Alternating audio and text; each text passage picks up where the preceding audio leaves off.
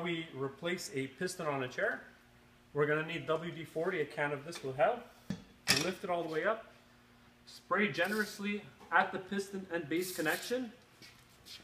Let it soak up over there. We're also going to spray it right where the piston connects to the mechanism. Right on the interior part.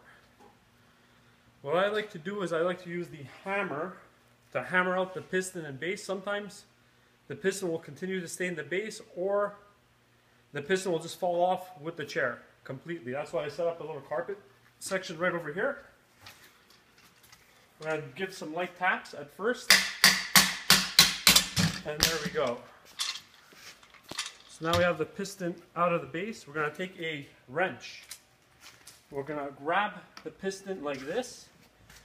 And what we do here is very, you're going to have to turn it tightly. Once it begins to tighten, untighten, it loosens up, comes right out. And that's how we change the piston out of a, out of a chair. We're going to clean any residue left over from the WD-40. And because our piston was functional, we're going to pop it right back in.